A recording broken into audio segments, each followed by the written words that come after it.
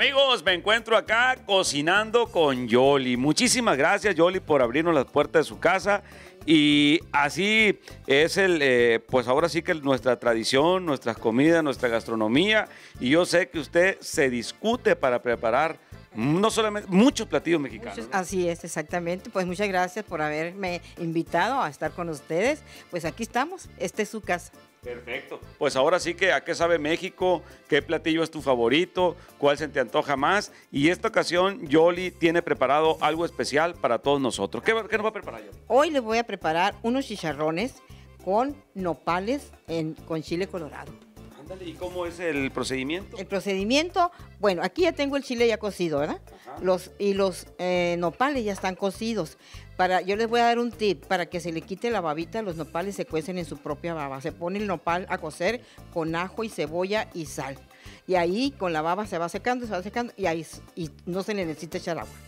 Es el verdadero sabor de México en el norte, ¿no? Sí, es exactamente. Y aquí ya están listos para guisarse con el chicharrón. Y Con el- los chicharrones. Luego ya al final, pues a disfrutarlo, ¿no? a disfrutarlo con taquitos, ¿verdad? Me quise lucir porque iban a venir ustedes. Ajá. eh, calientitos, vamos a hacer unos taquitos y vamos a hacer también unas flautas y unos taquitos dorados. Perfecto. Con su repollo y su salsita. Ajá. Entonces empezamos con qué? Con los chicharrones. Con los chicharrones. Muy bien. ¿Qué es lo primero que tenemos que hacer entonces? Primero que nada, vamos a, a licuar el chile grande. Vamos, enseguida vamos a poner los chiles y, vamos a poner un poquito de sal. Estamos esperando nomás a que se teme un poquito más el tomate este, porque vamos a poner junto con este tomate el chile. Estos chicharrones van a salir bien ricos, ¿eh? Eh, vamos a poner ajo, ajo tatemado también, tomate tatemado y se van a licuar con el chile. Estos chicharrones son especiales. Tenemos chilito también de árbol para que salgan un poco picositos. No van a salir muy enchilosos, ¿eh? se los pueden comer. Ahora sí, vámonos a la licuadora, el tomate, el ajo y los chilitos. Con una poquita de manteca de puerco los vamos a guisar estos nopales con chicharrón. Poquita manteca, miren. Tiene que chillar el sartén. ¿eh? Acu- Acuérdense que si el, sartén no chilla, no sale buena la comida. Todas las recetas que yo hago son muy facilitas ¿eh? y muy caseras, por supuesto. Vamos a ver si ya está lista la manteca de puerco. Si chilla es que va a salir bueno, si no, no. Ah, sí soy yo.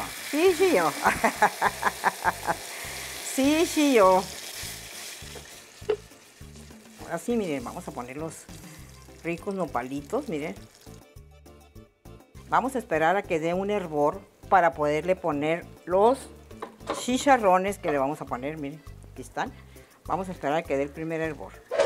Pues seguimos con la receta, miren. Ahora vamos a poner los chicharrones.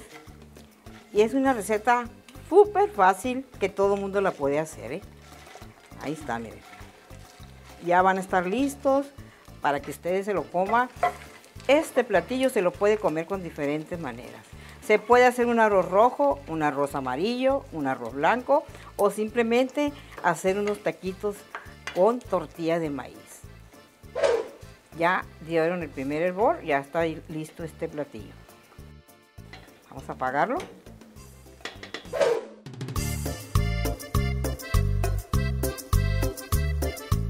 Así nomás, facilita.